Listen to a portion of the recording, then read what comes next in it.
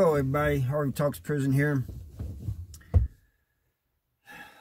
Yesterday I called the prison where Kevin's at, South Central Correctional Center. And they uh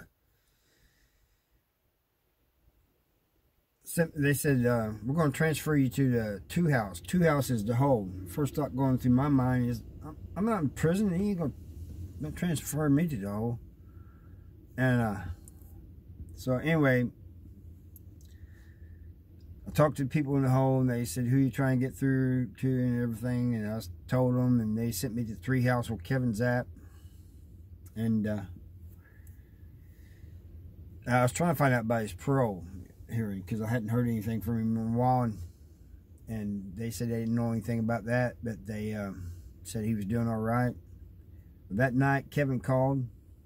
I told him about calling the prison and everything. He was laughing. But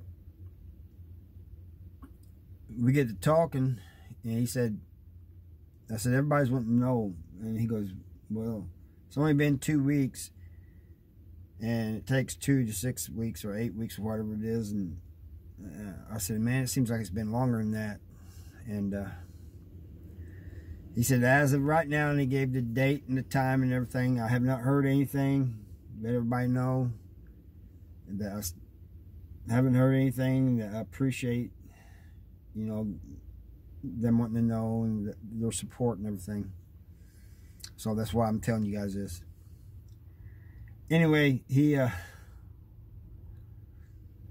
uh, we get talking about different things, you know. I, I should just recorded the phone conversation. But sometimes, you know, he gets a, he has a mouth on him sometimes. And uh, in one case is when he's talking about the overdoses. I went to ozarkfirst.com and they're saying that the autopsy reports say that they're, uh, like I told you before, that they was cancer and natural deaths and autopsy pending and all this BS. You know, you don't have seven overdoses in just a couple weeks. And, uh, you know, people and you're saying that there are natural causes and this and that. It, it just doesn't happen like that. Or it never has before. That fentanyl overdoses are close to 300 uh, and uh, for this year. And uh, about half of those are fatal. But anyway, he said they're still on semi-lockdown but uh, I was trying to tell him how bad fentanyl was. He just wasn't getting it. He goes, yeah, I understand people are overdosing because they don't realize how potent it is. And I said, no, Kevin. Some of them are probably accidental. I said, you can touch somebody that has it on their on them and overdose. There's case in uh, I think it's Michigan or somewhere up there.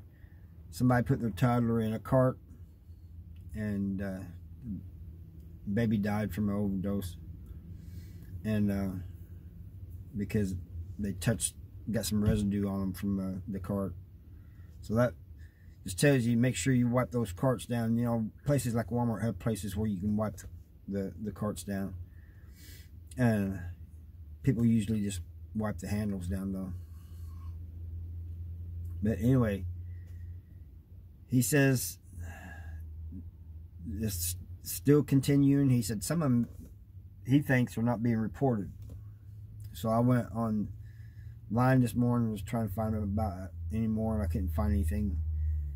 The thing is they're keeping this stuff from the loved ones who have incarcerated ones. You know what I mean?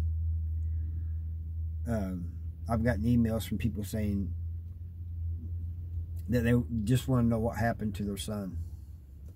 You know, he said, and the DOC is not really giving them any clear answers. You know, as I say, it's an investigation still going, ongoing, or something like that. You know, um, but this this crap's got to stop. They just need to be straightforward with us and let us know. You know, especially those who have the loved ones in, in the prison. But, you know, it really should be for all of us. We're taxpayers, right? And they're lying to us. Uh, it just doesn't make any sense to me, you know. I, I understand.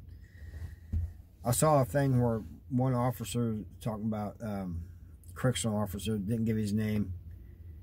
He's saying that most are not staff that are caught bringing drugs in are not even uh, prosecuted.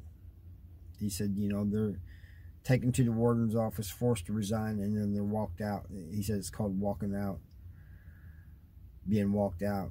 And he said, no paper trail, you know, because they want to avoid that. He, according to him, they want to avoid the negative publicity, and I believe that, you know, but it's better just to be honest. Say that you got a problem instead of hiding it and lying and then everybody's wanting to know what's going on. That just brings more publicity. But that's the way the Missouri Department of uh, Corrections have been for a long time, and more so the last, I'd say, 10 years or so. So, Kevin said he will give us an update. He will call. He said he promised he will call when he, get, he gets word about his parole hearing. And that's about all I got for you guys. And uh, thank you for watching. See you next time. Bye.